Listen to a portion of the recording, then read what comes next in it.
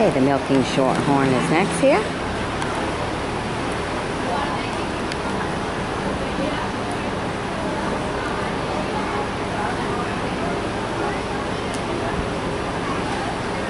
Oh, well, that's not going to be a hard decision. There seems to be only one. I don't see anybody else coming.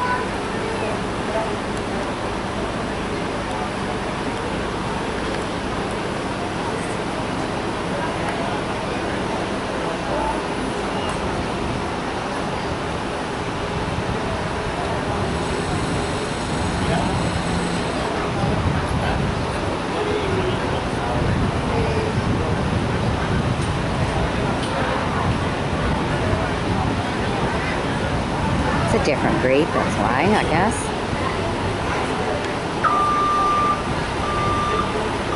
Alright, let's see what he has to say about it. We have one uh, fall calf in the shorthorn breed today. Put a nice individual. It's a heifer again that shows me a lot of strength up through that front end. He has, he has width throughout and has nice bone to her rear leg. A heifer that could stand some competition. Alright, that's it for that one.